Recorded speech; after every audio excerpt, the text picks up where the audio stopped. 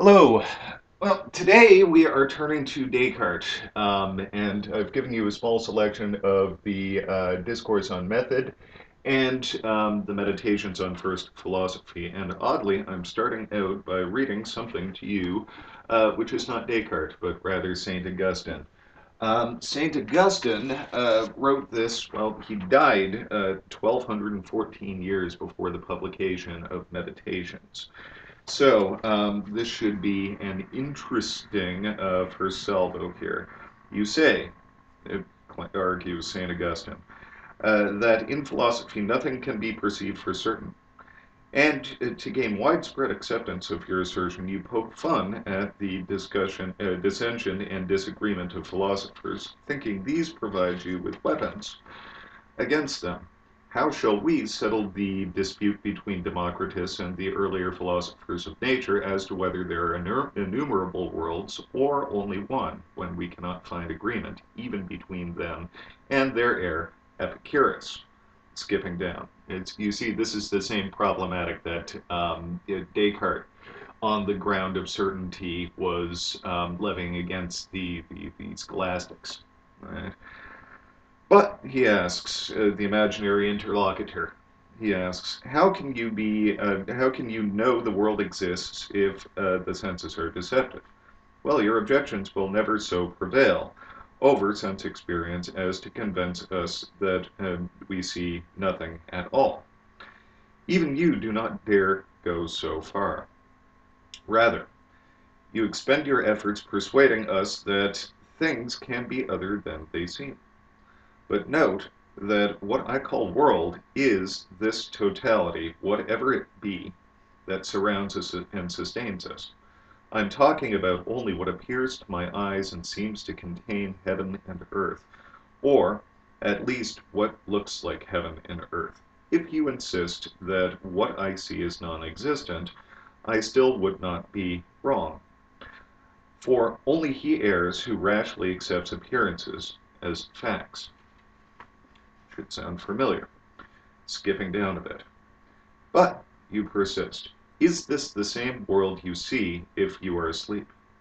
I've already admitted that I call world whatever appears to me as such. If, uh, but if uh, you wish to restrict the name uh, to what appears to men awake and of sound mind, then maintain, if you can, that it is not the world uh, that sleepers or the insane are asleep or demented. All that I am saying is that this entire mass uh, or framework of bodies in which we exist, be we sane or mad, awake or asleep, is either one or not one. Tell me how this statement can be false, for if I am asleep, I may have uttered nothing nothing at all. Or if these words did, uh, did fall from my lips in sleep, as sometimes happens, it may be that I did not say them here, or to this audience, or while sitting so. But the statement itself cannot be false. Skipping down.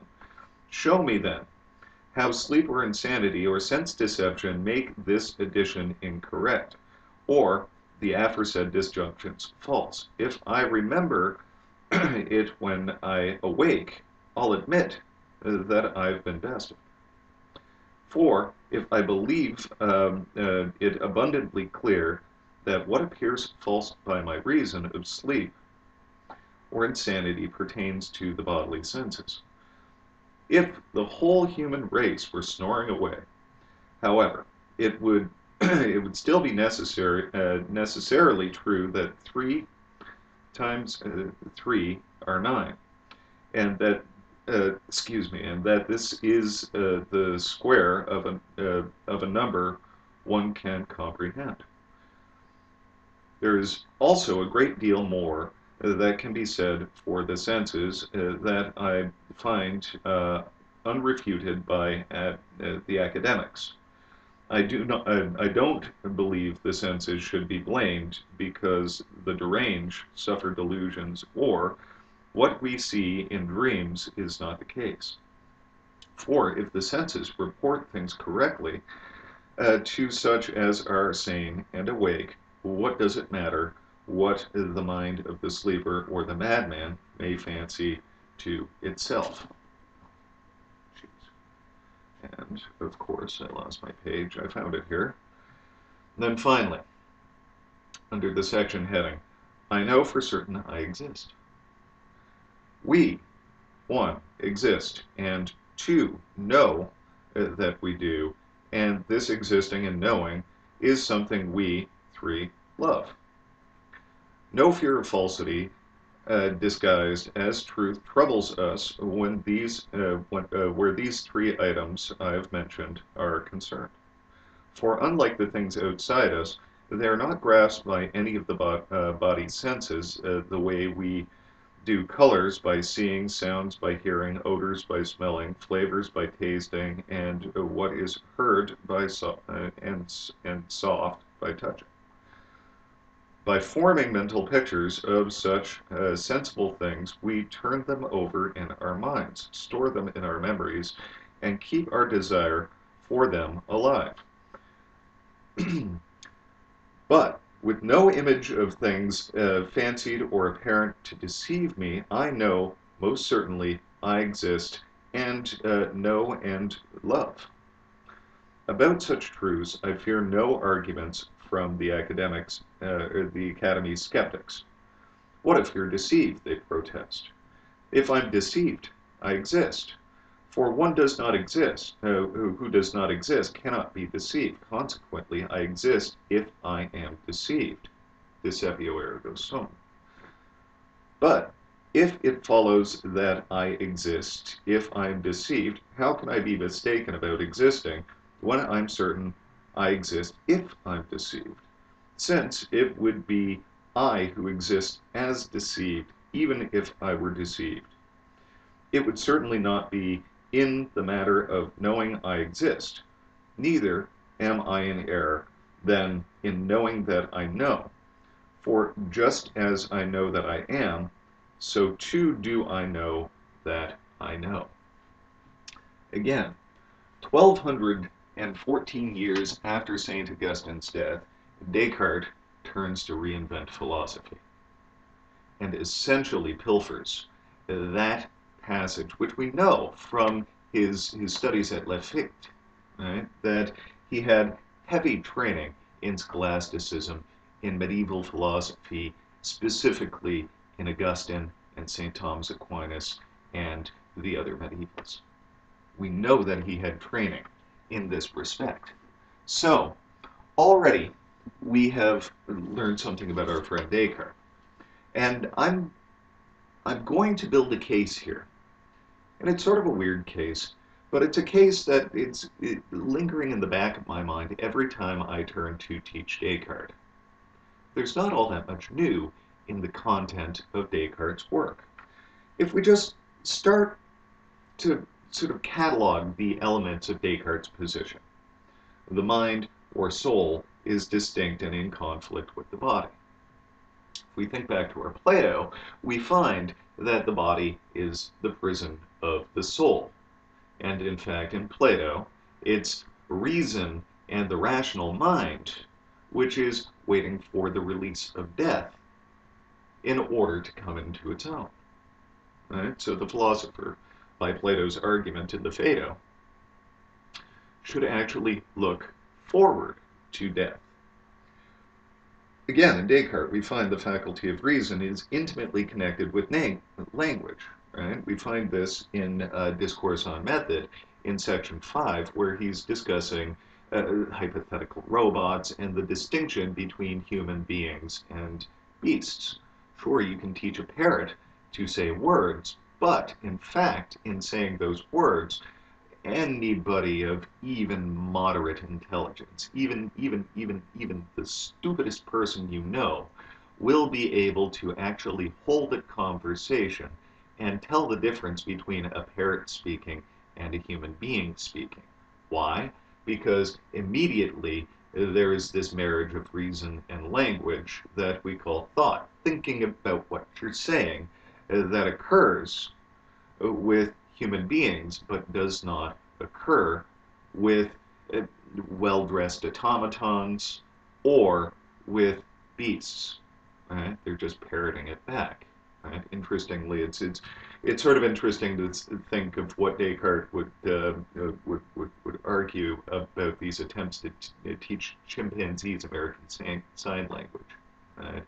And I'm sure it's he would have an argument for how yes, sure they can parrot back responses, they can, you know, express immediate desires, but there is no conceptual, there's no marriage of reason and language. They're not really thinking about what they're saying; they're feeling and saying.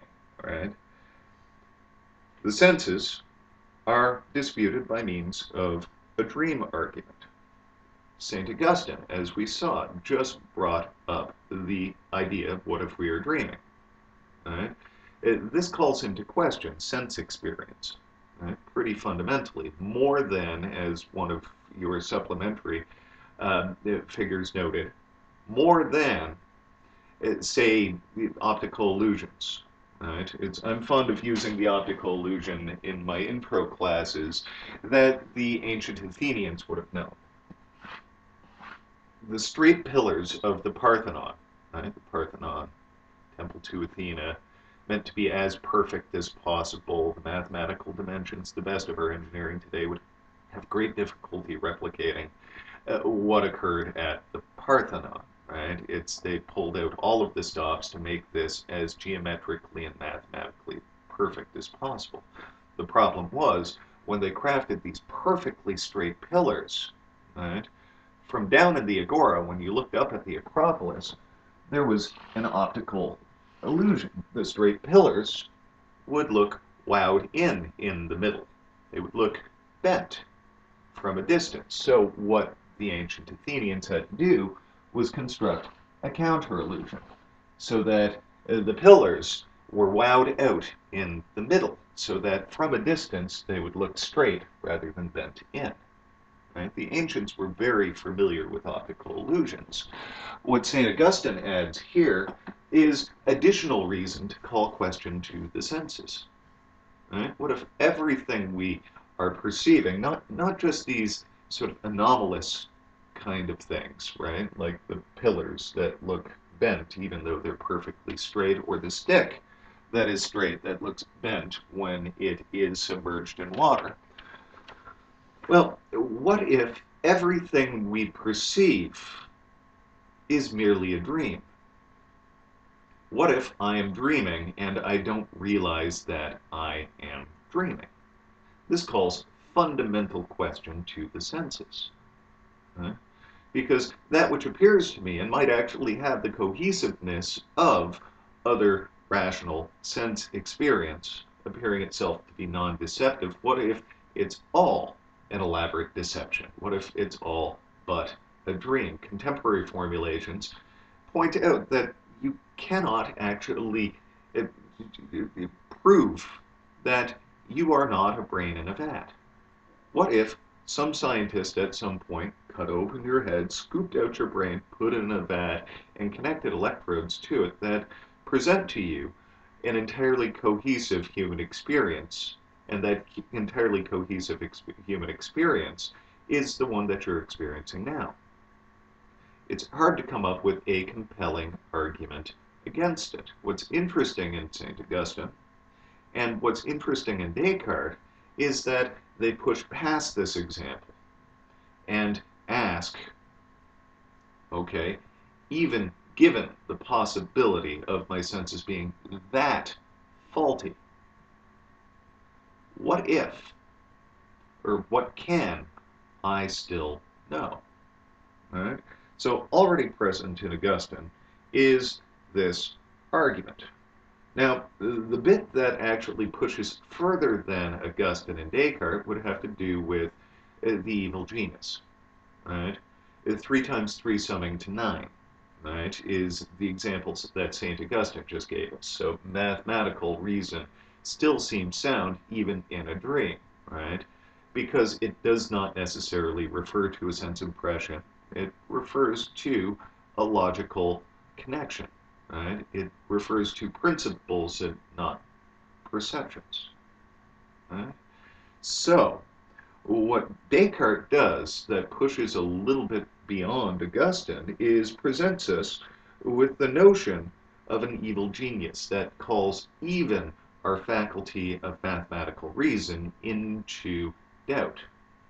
What if there were some malevolent, powerful being that simply made it appear to me that 3 times 3 sum to 9 when in fact they sum to 8 or 10 or 44?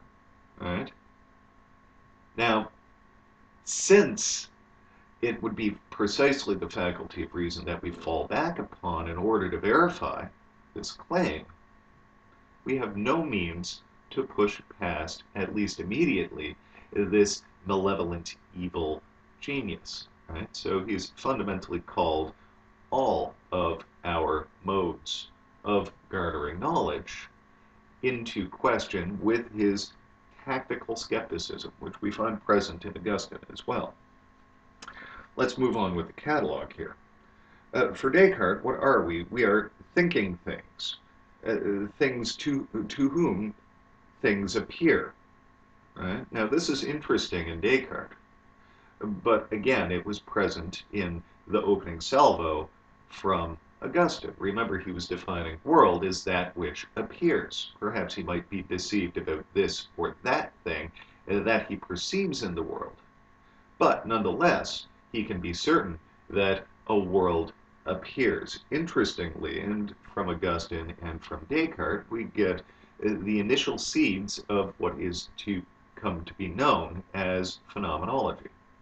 Right? Phenomenologists such as Edmund Husserl point back to Descartes for this insight. It's, I, I tend to think they should point back even further to St. Augustine for this insight insofar as they want to claim all consciousness is consciousness of something. What the phenomenologists do is bracket the reality of that which is appearing and interrogate the nature of uh, that which appears, how it appears to us.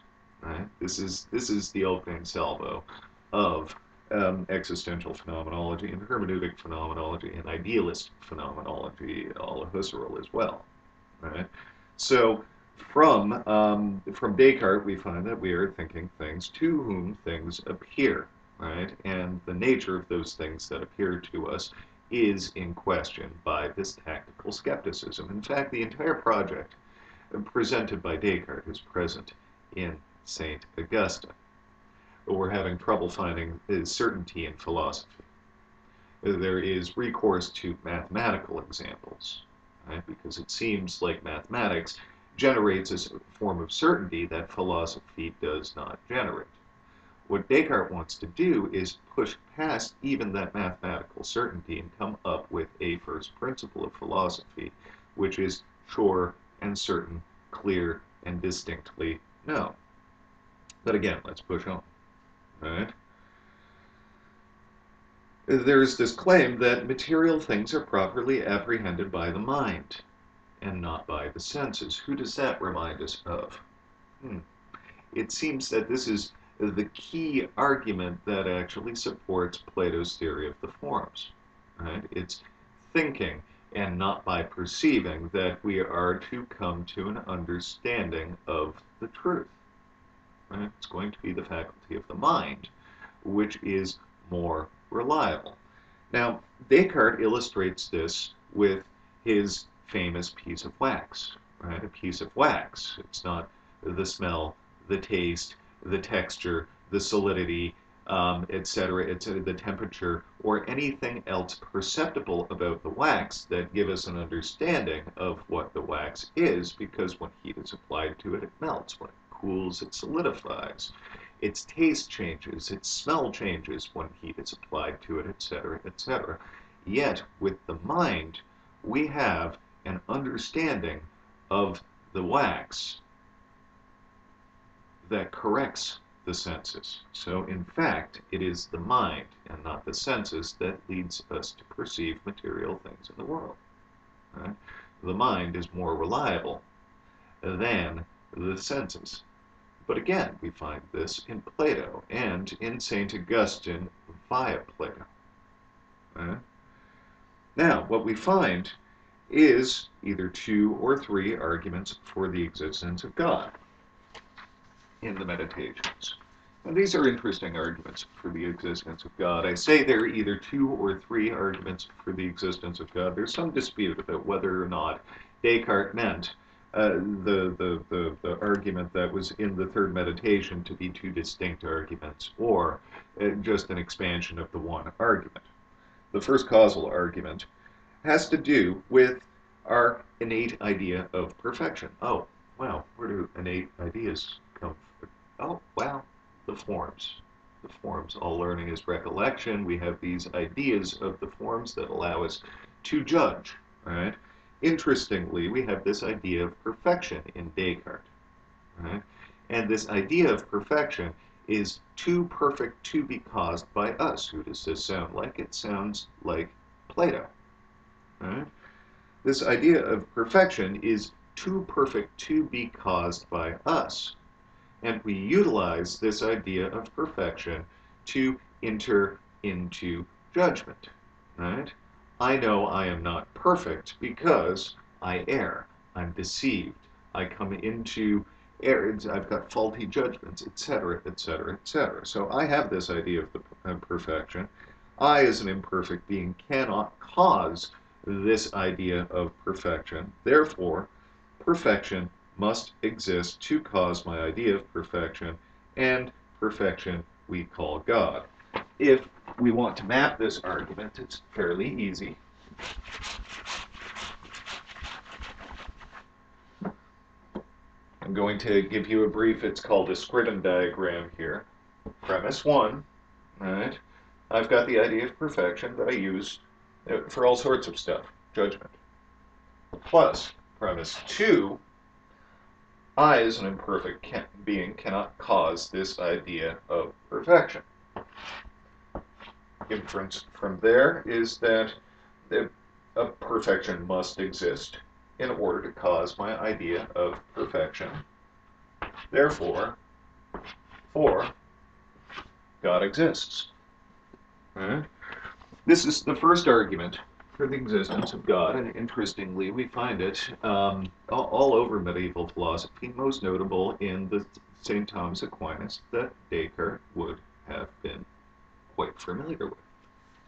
Right? So, what Descartes wants to do is use this idea of perfection, this argument for the existence of God, to redeem mathematical reason. If I have a clear and distinct idea of God, then my clear and distinct self-evident perception of my own existence is a sound one, and then I can start reasoning. Right? Now, what is sometimes called the second causal argument, because like I say, it's not quite clear that it's there's hardly a break for a breath in Descartes' writing of these arguments. He goes straight from uh, the, uh, the, the existence of a perfect being to an argument about his own dependent nature. Right? So I would I would like to call this is the second causal argument. Right? It's not clear if Descartes considered this to be a, a distinct argument. Right? It goes. I'm a dependent being. Those uh, that which I'm directly dependent upon must either be dependent also or not. Now, we can't have infinite regress of dependent beings. Think of it as an infinite number of zeros still summing to zero. Therefore, there must be an independent being upon which I depend. Therefore, this ind independent being, God, must exist. So again, if we want to Scriven diagram this argument, it would go a little something like this. I'll put it in red just for the distinction. One, I'm a dependent being. Plus two, that which I'm uh, directly dependent on must either be dependent also or not. Plus 3. We cannot have an infinite regress of dependent beings. An infinite number of zeros still sums to 0. Therefore, there must be an independent being upon which we depend. Was 4. Premise, uh, conclusion, therefore, God exists as an independent being. Right? And again, both of these arguments you would find in some summations of medieval philosophy argued by St. Thomas Aquinas. A number of them predate him.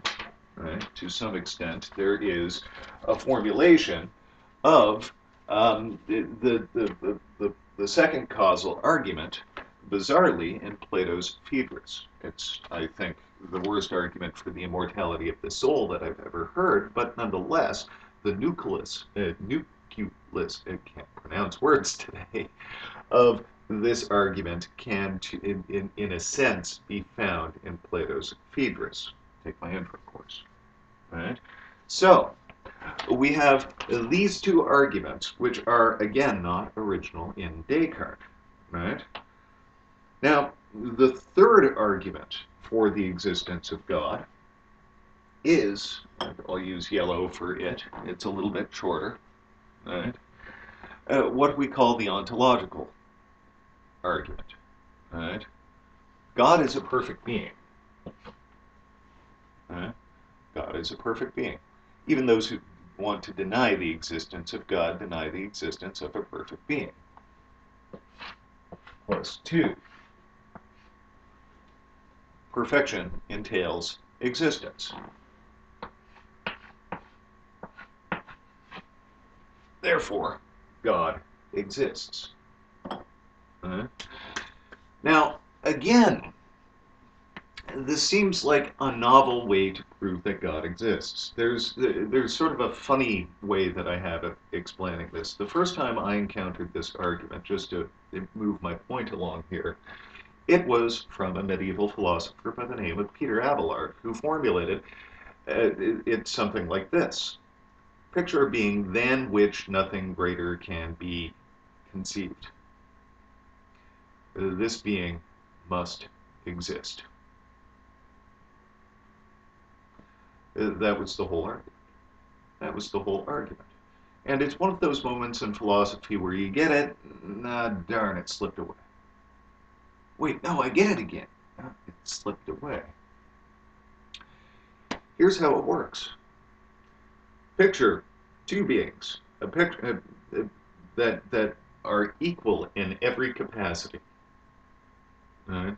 They are perfect. They have all of the perfections lumped upon them. Perfect being one exists. Perfect being two doesn't exist. If we're picturing a being than which nothing greater can be conceived, perfect being 1 is greater with existence uh, than perfect being 2. Right? Now, the reason Descartes is presenting this, this either second or third argument for the existence of God is because in Meditation 3, by both of these earlier formulations, right, uh, both of these causal arguments, right, uh, you know, wherein I have an idea of perfection, right, I can't cause this idea of perfection myself.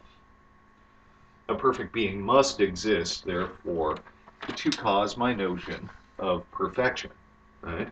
And in the second one, I'm a dependent being. Everything that I depend upon is either dependent it's, uh, by itself, or also dependent, or not, and we cannot have an infinite regress.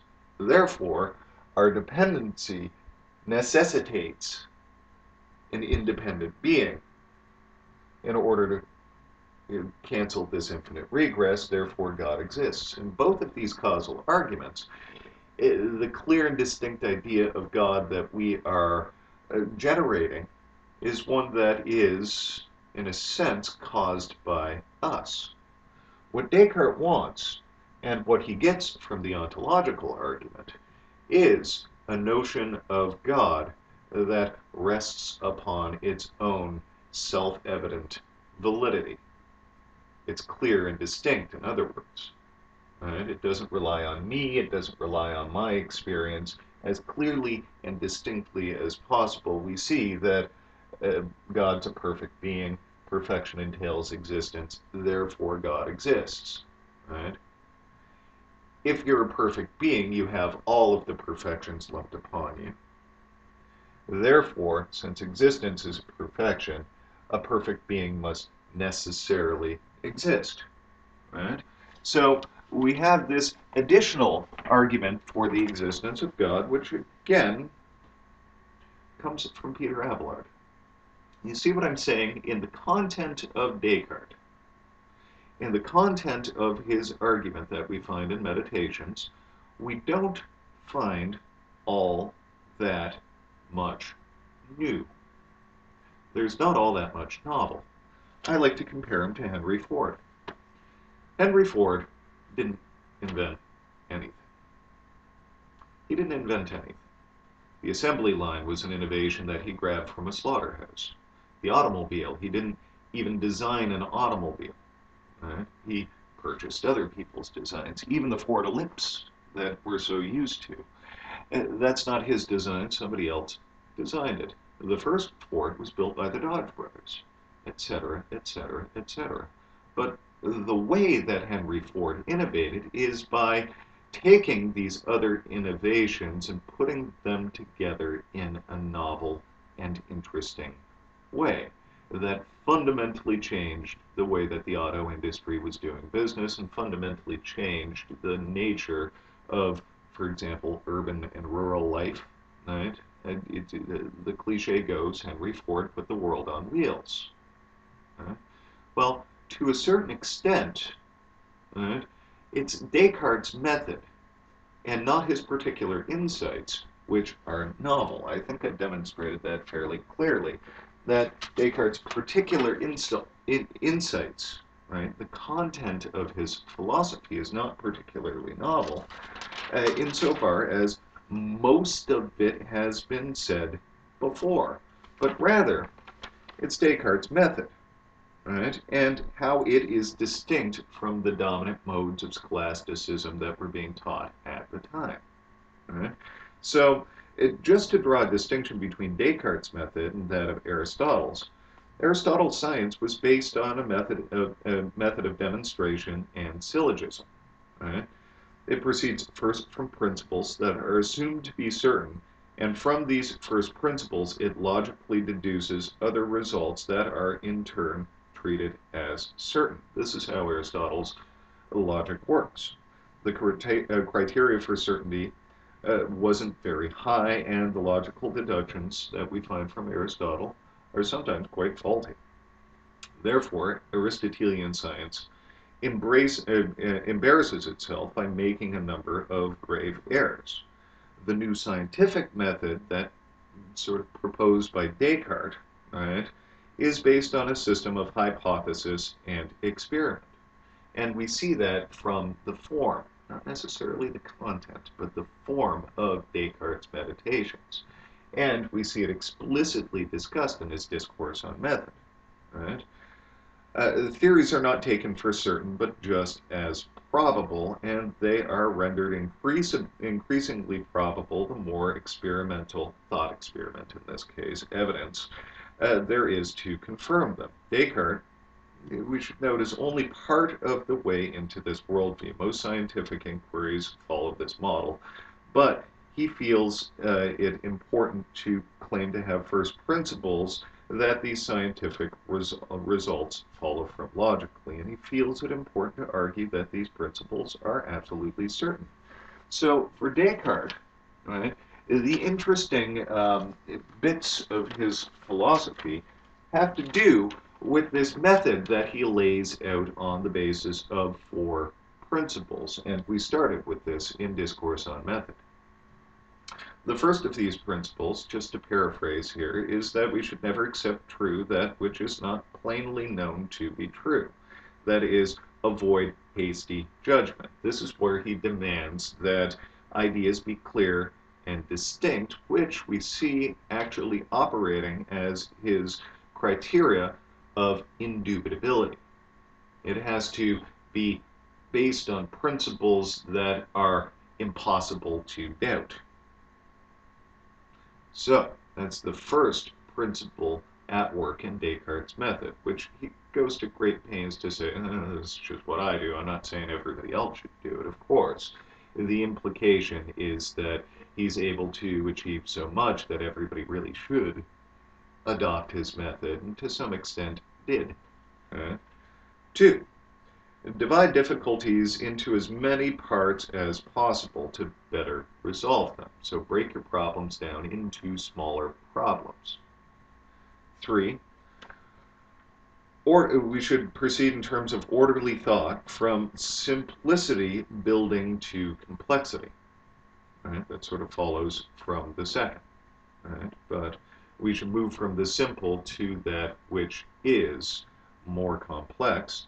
And then, finally, that we should have complete enumerations and general reviews uh, as to avoid any sort of omission. So it should be complete.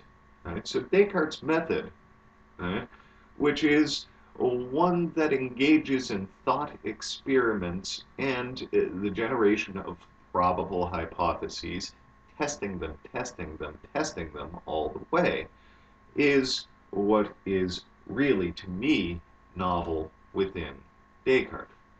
And this is uh, what I would argue actually produces uh, the particular form of knowing and knowing subject that modern philosophy gets its start in terms of. Uh, these inferences were already to some extent present within the scholastics. We had a, distinct a distinction between mind and body.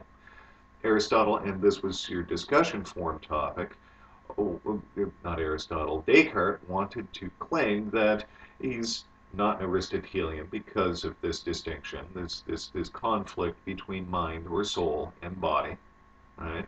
But he's not Plato and claiming that the body is useless, right? That the body is just a machine and the mind is merely a pilot in the machine. He wants to claim, he wants to claim, and he does claim that the mind and body are closely united to one another, yet he doesn't really argue this. He experimented with the natural sciences, with embryology, with um, dissections, with it, it sort of a, a, crude sort of it, neuroscience in order to try and figure out where the mind and the squishy thing that we call the brain actually wind up connecting with one another. He never fully demonstrates the distinction, uh, uh, the, the connection, how closely tied and united uh, the mind and the body are. He thought it had to be in the brain. But there we go, right? So it's Descartes' method which is interesting and took the world by storm, and not his particular inferences. A number of ironies. He thought he so clearly demonstrated the existence of the God, uh, God and the immortality of the soul as to put the question to rest from there on. Uh, in right, this was in his preface, the preface to the Meditations, uh, when he was sending this document as, as a plea to the Sorbonne for their support. Right? Of course, this doctrine, right, this, this, this argument from Descartes was adopted by people who then became atheists, right? and who uh, ultimately wanted to break down the distinction between the mind and the body, as it's presented as the new, the inventor of the mind-body problem. Right? How do they connect with one another? Well, ultimately, an empiricist wanted to claim that mind and brain are the same bloody thing. Right? So, Descartes' method is interesting. His particular inferences had a few ironic sort of um, uh, consequences to them. Okay, where is my note? Now, what I want to do is think through a series of questions with you. And um, these questions have to do with how human beings are, according to Descartes, distinct from his hypothetical robots and his animals. And what this has to do um, with, with Descartes' account of the basic nature of subjectivity. Right? Now, Descartes argues sort of presciently that we can design a machine to do things better than a human does. Right? It uses the example of clocks that keep a more accurate picture of time than humans are able to conceptualize in their minds. But human beings are generalists. Right? So, well, a machine may be able to do one task very, very, very well. human beings can do a variety of tasks very well, and on the basis of a reason melded with language, figure out, learn, think, and engage with the world in a way that a machine never, by his account, will be able to. Right? Now, it's interesting, our dark science fiction future in the past 70 years or so, longer than that, Asimov, I suppose, um, even longer than that if you want to plumb the depths of, of the history of science fiction. But nonetheless, the idea of robots, cognizant robots, thinking machines, right? Um, this, this, this calls some question into Descartes' assumptions here, but even even the best of our science, right? It doesn't really offer us a robot, a machine that thinks the way a human being does. Scarlett Johansson's um, Siri movie aside. Right?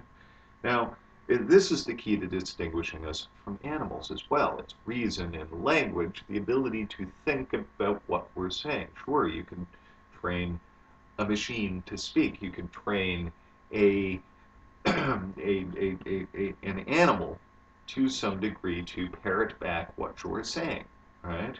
And this is how Descartes would account for chimpanzees as well, right?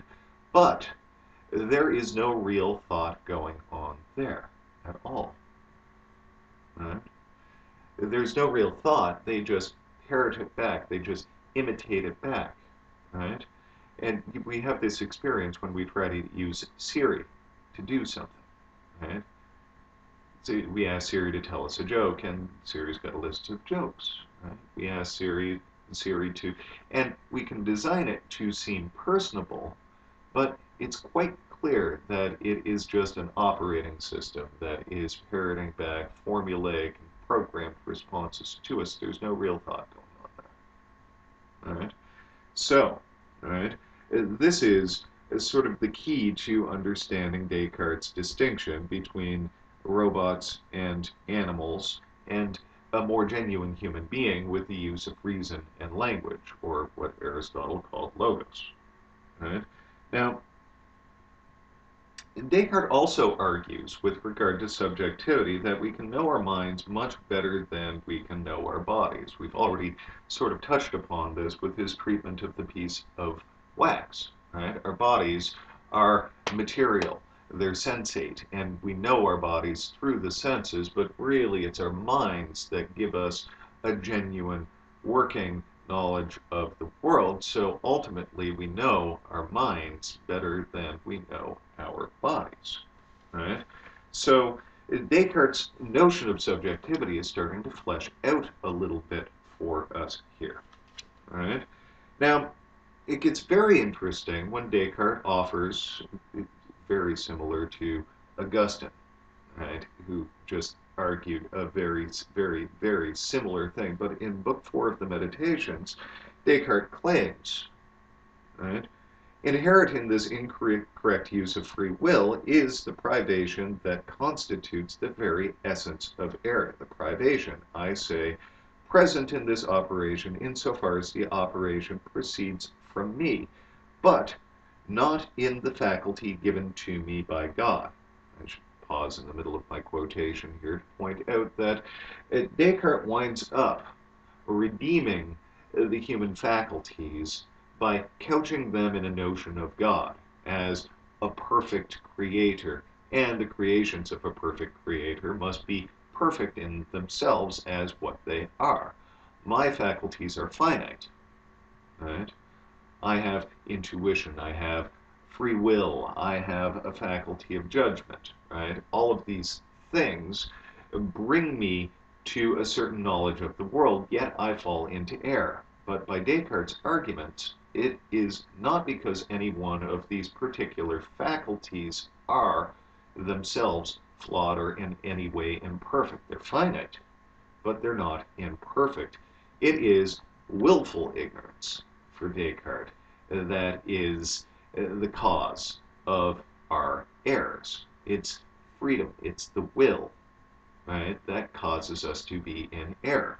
And as it, Augustine was pointing out, of course I've lost my page now. Come on, come on, where are you? Fifth reason, blah blah blah, nature. Let's go to genus, Augustine, here we go, existence of God. Hmm, apologies, I'll just be a moment. Is the of skepticism. Boo, boo, boo. Uh, do, do, do,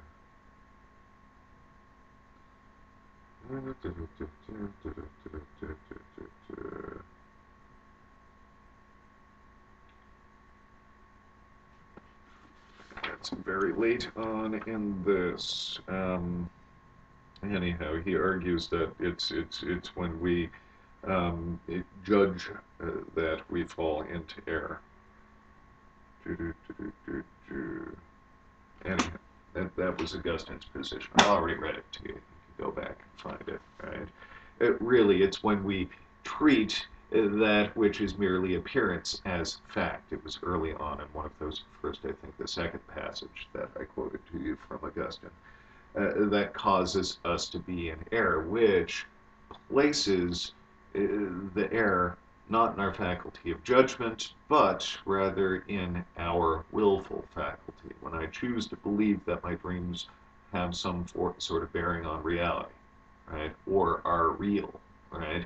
That is a defect of the will and not of judgment. So Descartes is building a similar case here. Let's just start over. Inherent in this incorrect use of the free will is privation that constitutes the very essence of error. The privation, I say present, is in, in, in this operation insofar as the operation proceeds from me, but not the faculty given to me by God, or even in its operation insofar as it depends upon Him. That's your page 57.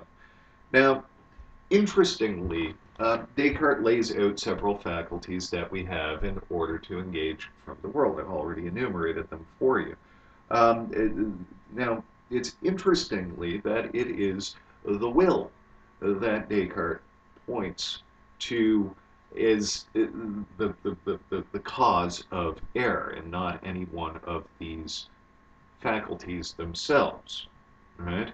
Now, interestingly, right in this treatment of human knowledge, right? So we've got a notion of subjectivity in which reason and language are, is, are closely tied with one another. We've got a notion of the human being in which uh, the mind is distinct from the body and even to some extent in conflict with the body, but closely tied and united.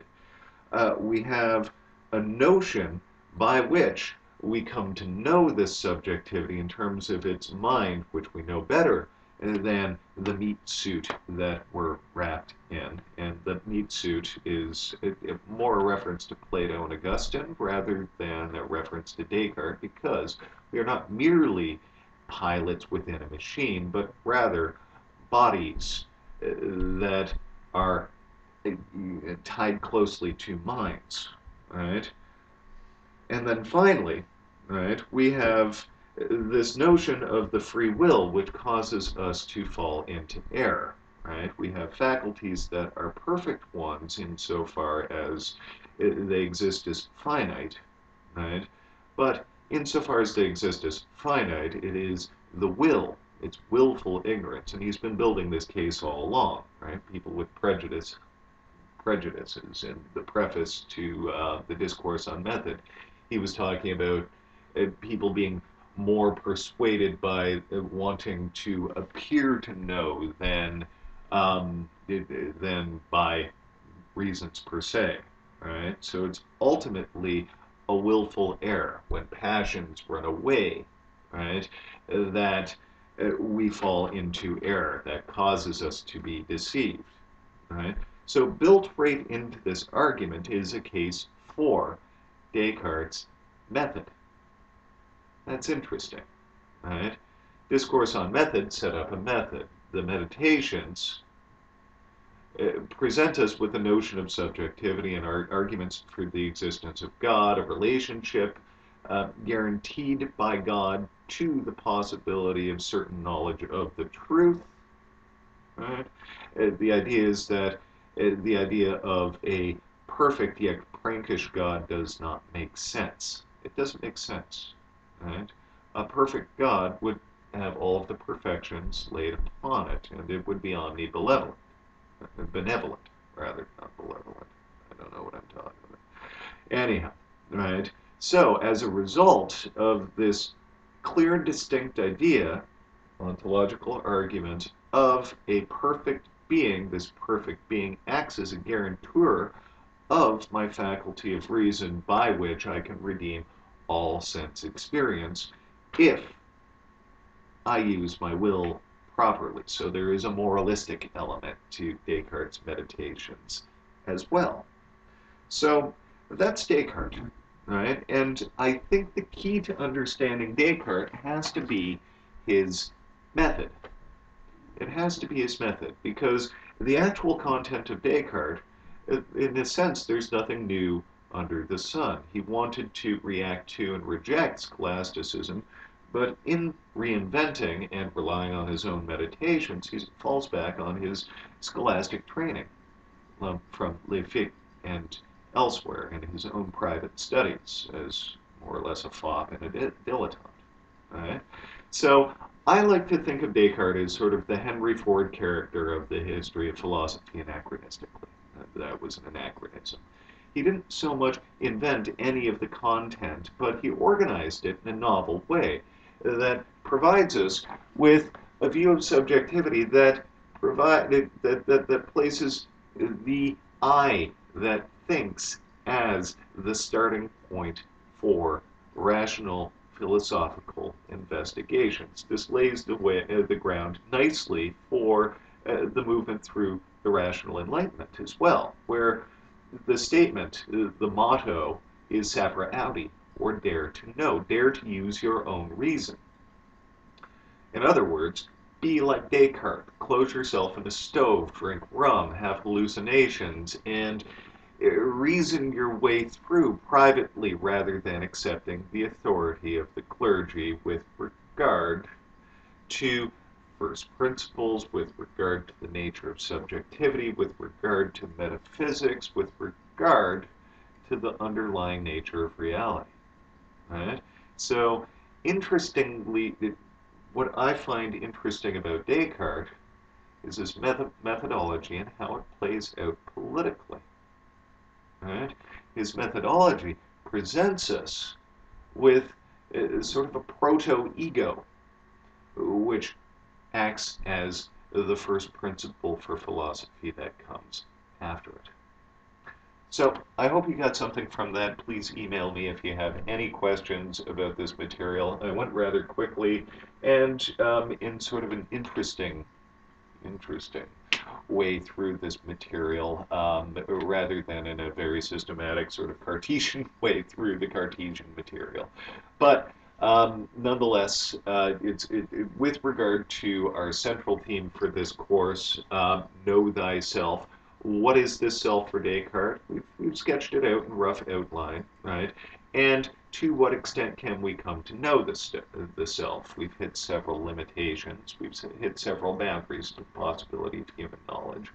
And the possibility of knowing this self has decisively colored the idea of the self. Because in the preface to Meditations, he very briefly addresses an objection to his position in which, okay, this, this thinking thing actually winds up ignoring uh, the sort of feeling and passionate sort of involvement in the world, which you seem not to treat at all.